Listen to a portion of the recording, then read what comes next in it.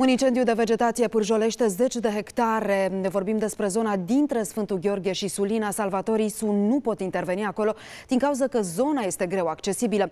Corespondentul um, Antena 3 CNN, Alexandra Ghețea, ne spune mai multe. Alexandra, te ascultăm. Bun găsit!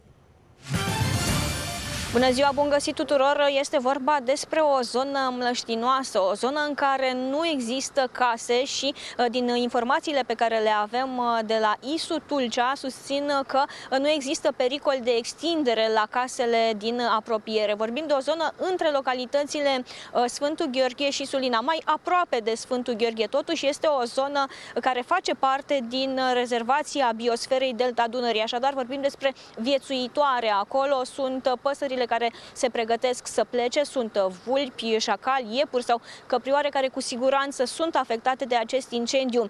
Mai exact, sunt 60 de hectare care ard sau au ars până la această oră pentru că incendiul a izbucnit uh, ieri în jurul orei 16. Uh, Și cel mai grav este că nu se poate interveni în zonă, așadar nu se poate interveni pentru stingerea flăcărilor, va arde stuful din acea zonă până când focul se va stinge de la sine. Nu este pentru prima oară când apar astfel de incendii de vegetație în uh, zona deltei Dunării și iată că nu se poate interveni pentru a fi stinse, deoarece nu se poate ajunge acolo. Este o zonă foarte greu accesibilă.